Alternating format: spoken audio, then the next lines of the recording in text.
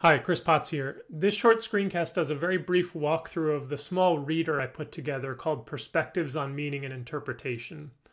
The reader offers some excerpts from our Partee reading and a few others, and I stitched those pieces together with some prose of my own. So I think the reader can mostly stand on its own.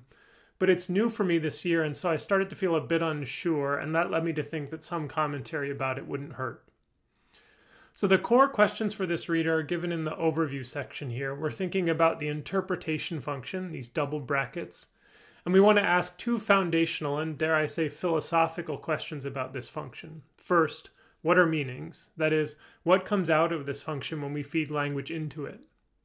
Second, what's the nature of the connection that we're making between forms and meanings with this interpretation function? It's actually pretty easy to take a lot of semantics classes without ever asking these questions in a serious way. Now, to some extent, I suppose that's defensible. After all, when you take a math class, it's not like they spend time discussing what numbers are. They just dive into doing math, and they generally leave the conceptual and metaphysical question of what numbers are to the philosophers or to the philosophy of math or to a meta mathematics class or something. And to some extent, we can do a similar thing if we wish for these core questions. We can sidestep them and just get down to exploring linguistic phenomena and trying to build theories that support testable predictions. But that doesn't feel totally right to me. I feel we do well to think seriously about these conceptual questions a bit, since I think it might actually affect what we explore, the questions we ask, and what we think results in the field should look like. So let's dive into that. In section two, we encounter our first excerpt. It's from the Partee reading that you're doing in parallel to this. And it explicitly takes the position that we should sidestep our two big questions that get down to work, at least on my reading. It does substantiate this a bit, though, with this piece called Lewis's advice and a second principle called Cresswell's principle. Together, these map out a theory in which we're going to use sets and functions to model truth conditions and truth conditions will taken to be major components of the theory of meaning.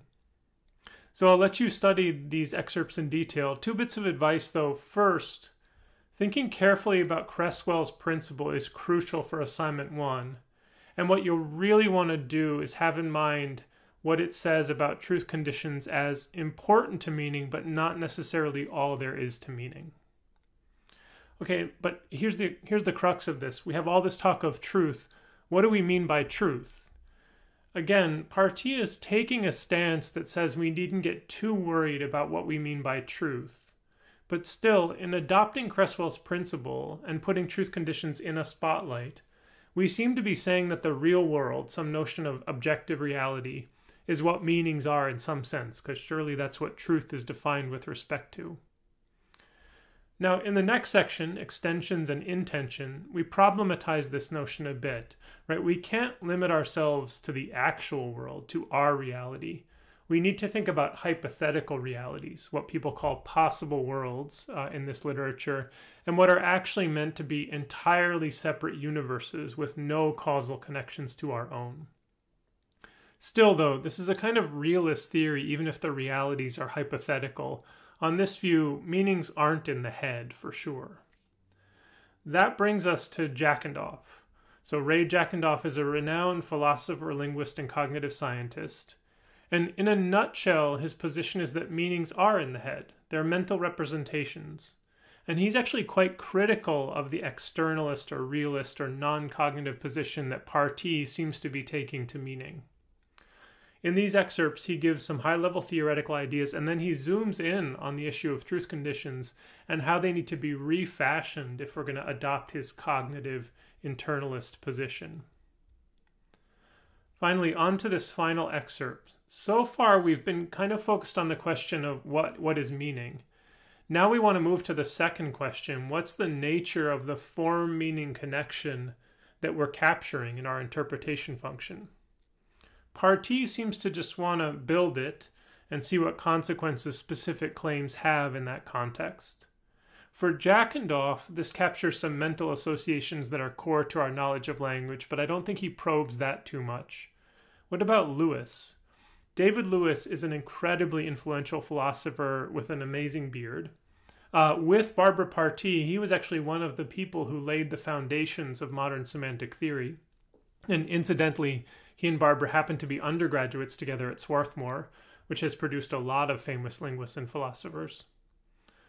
So, what does Lewis do in this famous paper called Languages and Language? Well, first, he restates the basics of the sort of theory that Partee is building and that we'll build. And here he seems to be channeling the version of himself that wrote the famous paper General Semantics.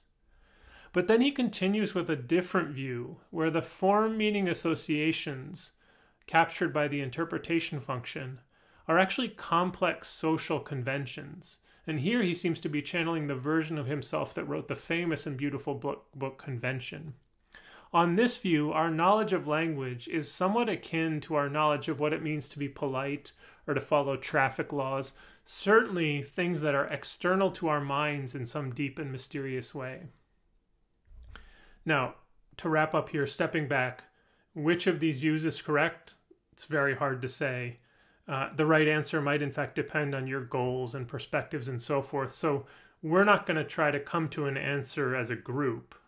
But I am hoping that each one of you becomes somewhat opinionated about the right way to approach these core questions and concepts.